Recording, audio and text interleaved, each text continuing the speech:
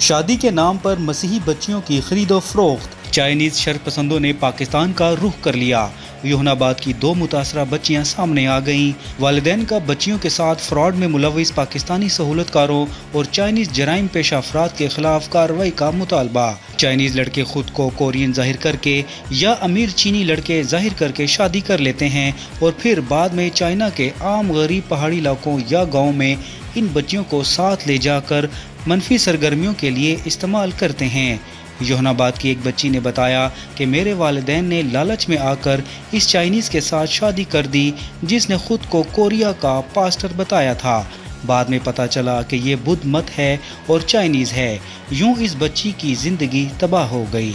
आपको यहाँ पर बताते चलें कि शादी के नाम पर मसीही बच्चियों की खरीदो फरोख्त का मामला सामने आया है। चाइनीज़ शर पसंदों ने पाकिस्तान का रुख कर लिया है। योहनाबाद की दो मुतासरा बच्चियाँ सामने आ गई हैं। वालदेन का बच्चियों के साथ फ्रॉड में मुलविस पाकिस्तानी सहूलतकारों और चाइनीज़ जराइम पेशा अफराद के खिलाफ कार्रवाई का मुतालबा है।